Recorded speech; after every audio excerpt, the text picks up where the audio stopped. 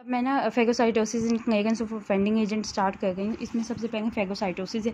Phagocytosis के तीन सिक्वेंशन steps हैं। पहला है recognition and attachment of the particle to be ingested जो है हमने जो पार्टिकल को इंजेस्ट करना है और उसको डिग्रेड करना है, उसकी रिकग्निशन एंड अटैचमेंट है, फिर उसकी इनगमेंट है और जो थर्ड वाला जो है, उसकी डिग्रेडेशन है। तो ये तीन स्टेप्स हैं। इसमें सबसे पहले है रिकग्निशन बाय फेगोसिटिक रिसेप्टर्स इसमें क्या होता है कि हमारे पास पर्टिकुलर रिसेप्टर्स होते हैं, जैसे mannose receptor scavenger receptor and receptor फिर फॉर वेगिस ऑप्शनिन्स है। अब जो मेनोज रिसेप्टर है ना mannose receptor mannose and fucose के साथ बाइंड करता है। मेनोज एंड फ्यूकोज जो है ना माइक्रोबियम ग्लाइकोप्रोटीन है, इनके एंड पे अटैच होता है। ग्लाइकोप्रोटीन का एंड जो है, वो मेनोज और फ्यूकोज होता है माइक्रोबियम का जो है।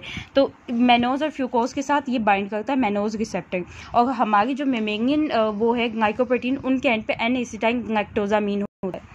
उसके बाद हमारे पास आ जाते हैं स्केवेंजर रिसेप्टर्स ये जो है, ये नो डेंसिटी प्रोपर्टीज पार्टिकल्स को इंजेस्ट कर गए और सर्टेन माइक्रोब्स को। उसके बाद जो है थर्ड वाला ऑप्शनिन्स का ये है कि ये जो ऑप्शनिन्स बाइंड करते हैं माइक्रोब्स के साथ और फिर इन ऑप्शनिन्स के फर्दर रिसेप्टर्स होते हैं जो इनको माइक्रोब्स को इंजेस्ट कर लेते हैं। तो मेजर ऑप्शनिन्स जो है, उसमें हमारे पास आईजीजी है C three B break down पर्टन products जो हैं और सर्टेन प्लाज्मा एक्टिन है। अच्छा उसके बाद जो इनगंकमेंट है, वो सिंपल सा प्रोसेस है कि सूडोपोड से उसकी इनगंकमेंट होती है, उसके बाद जो है वो फैगोसोम बन जाता है और उसके वो जाके गाइजोसोम के साथ अटैच हो जाता है, फिर जो किंगिंग का प्रोसेस है वो स्टार्ट होता है।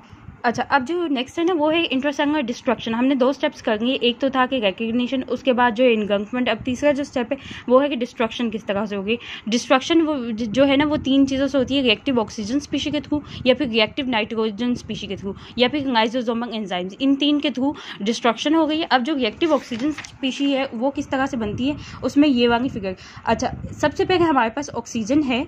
Oxygen N A D P H is converted to N A D P plus और जो है ये ऑक्सीडाइज हो रहा है और रिड्यूस कर रहा है ऑक्सीजन को सुपर ऑक्साइड में। सुपर ऑक्साइड रेडिकल आ गया। अब सुपर ऑक्साइड रेडिकल जो है फर्दर हाइड्रोजन पर ऑक्साइड में कन्वर्ट होता है बाय सुपर ऑक्साइड डिसम्यूटेज और जो हाइड्रोजन पर ऑक्साइड है फर्दर हाइड्रोक्सी रेडिकल बना सकती है इन द प्रेजेंस ऑफ़ फेगस या फिर जो है हाइपोकोंगोगाइट बनाती है बाय माइंगो पर ऑक्सीडेज ये सारा जो है, ये सारे रेडिकंग्स बन गए तो इस तरह से रेडिकंग्स की फॉर्मेशन होती है जो फर्दर डिस्ट्रक्शन करते हैं। और ये जो ये जो प्रोसेस है सुपर ऑक्साइड से हाइड्रोजन पर एंड हाइड्रोजन पर ऑक्साइड से हाइपोकंगाइट रेडिकल का फॉर्मेशन है। इसको ऑक्सीडेटिव बर्स्ट कहते हैं और न्यूट्रोफिंग्स इस प्रोसेस को यूज़ करते हैं रेडिकल्स बनाने के लिए। इसके बाद जो है हाइड्रोजन पर MPO system is the most efficient bactericidal system जो है न्यूट्रोफिंग्स जो यूज़ कर रहे हैं।